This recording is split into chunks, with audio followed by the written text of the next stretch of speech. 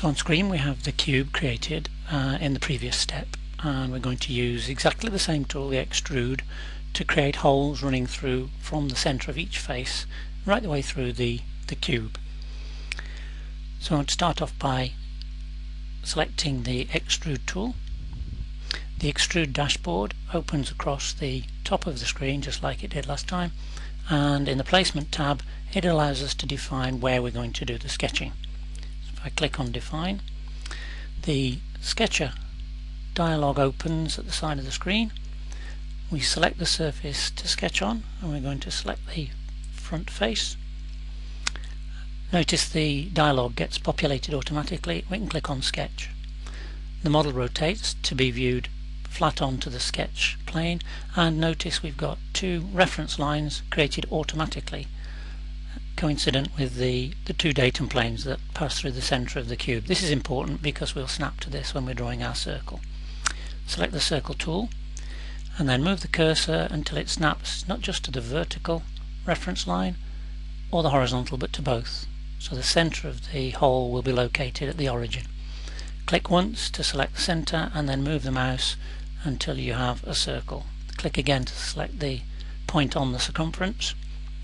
Use the arrow tool to change the diameter of the hole.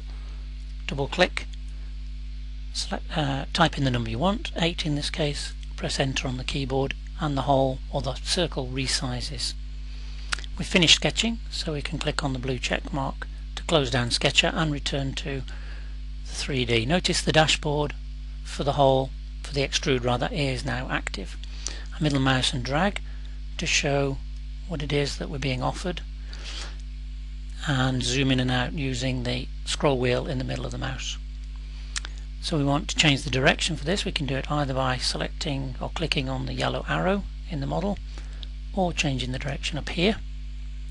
And then we need to make two further changes. One is in the depth of the hole. Currently it's to a, known depth here.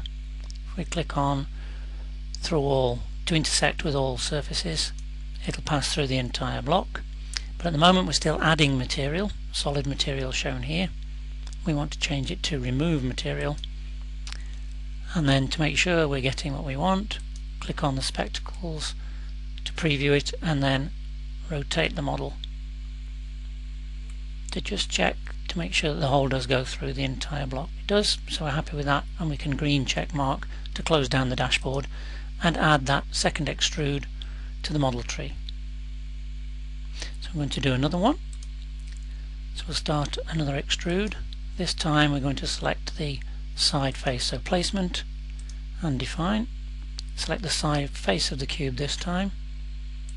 The sketch dialog is populated automatically. Click on sketch and again it rotates onto the side.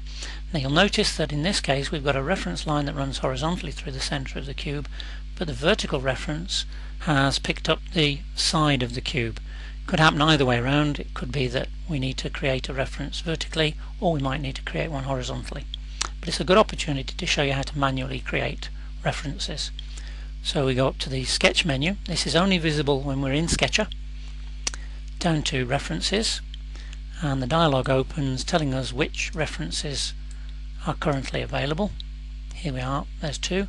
The selection arrow tool is active so we can simply click on the vertical datum plane, the front datum plane, creating a new reference here and then click close.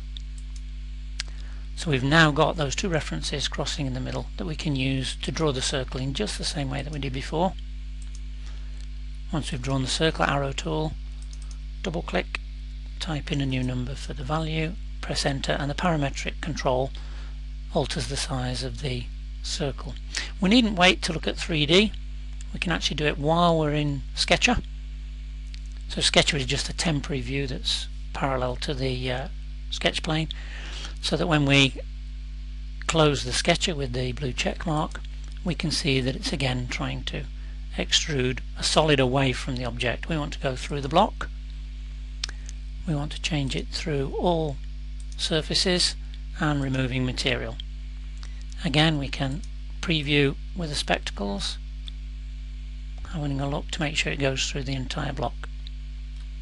and it does so we're happy with that we can green check mark just check with a stored view in trimetric and we can turn off the display of datum features to clean it up and see the labours of our the fruits of our labours make sure you save your work regularly so we'll save this before we leave you to go on to the next step